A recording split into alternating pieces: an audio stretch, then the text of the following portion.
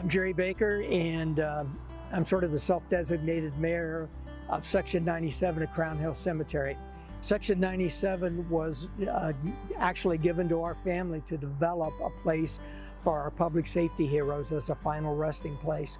I've been involved, obviously, with this from the very inception of the program, but what I have seen over the years was a need to improve on the delivery of the final resting services for our fallen officers and our heroes.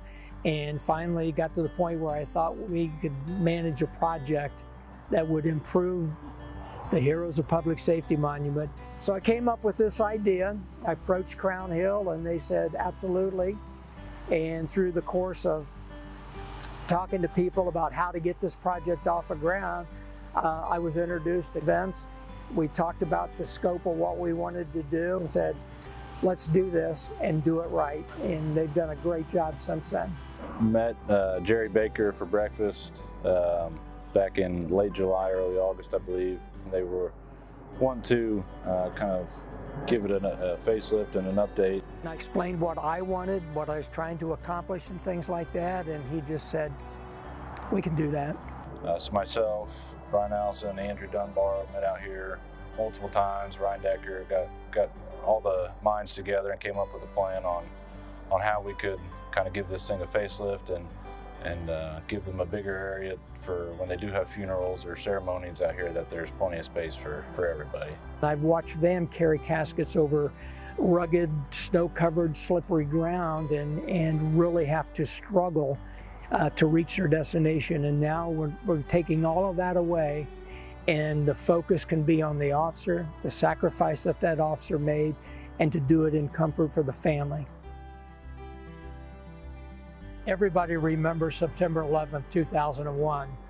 And in Indianapolis here, one week later, we had on a much smaller scale, but uh, certainly a very traumatic event, very similar to that, that involved my son, a Marion County Sheriff's deputy, uh, attempted to stop some folks. A pursuit ensued, and then subsequently he began taking fire. And unfortunately for him, uh, after taking several hits to his car, uh, one of the rounds came through the windshield and struck him in the head. Crown Hill, who has always been a very community-oriented place wanted to do something to honor Jason and his sacrifice. And so they approached our family and said they would like to donate a section of land and build a memorial.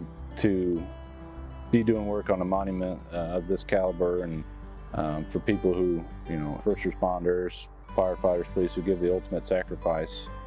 Um, I think it's a unique project to be a part of and one that hopefully last for the next hundred some years and, and, and, be able to hopefully have a lasting uh, effect here on Crown Hill Cemetery. I think the thing that's really uh, you know captured my heart because I've been in this place for 22 years now is the fact that the words that he said that first day we're going to do this right and with any project especially when you have to do some tearing apart to rebuild they ran into some issues and stuff and it wasn't like oh, let's cut a corner here, let's cut a corner there. It's, this will be done correctly. And, you know, I've been out here every day, not to watch them, but just to admire the work and the dedication that all these folks have. And I think when we're all done and we rededicate this, um, this is going to be probably a premier place in the United States.